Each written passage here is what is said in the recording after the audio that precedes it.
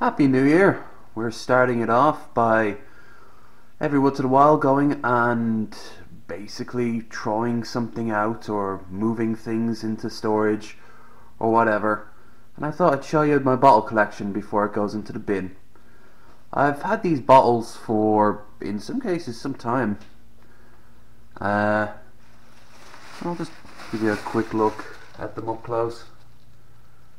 Some of them I wouldn't recommend. Others, they're pretty obvious. The absinthe bottle was my first.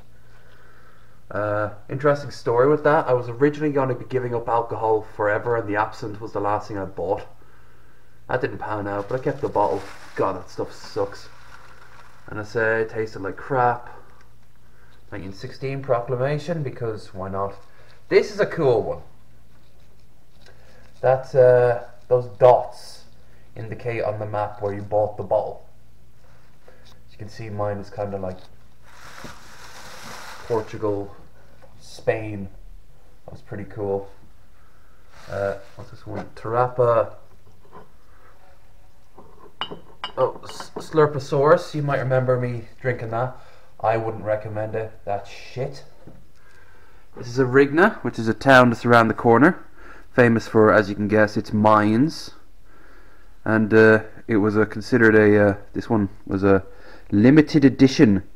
Only 1800. Some shitty tequila. I don't like tequila, but there's like two bottles here. At the back, the uh, Drumshanbo's finest. And uh, the hell is oh that's a tequila.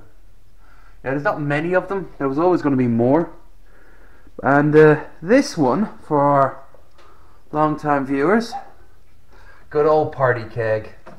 You were quite the find. I think I got you uh, this time last year.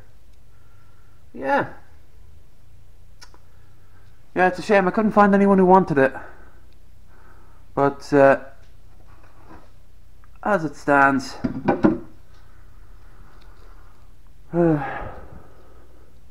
it's just trash. Once a day, I'm going to be getting rid of things that I need to get rid of. So rank it up. It's getting close now. Uh,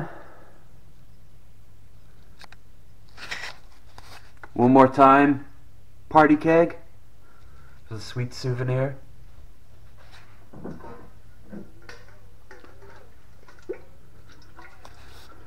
Oh, party keg.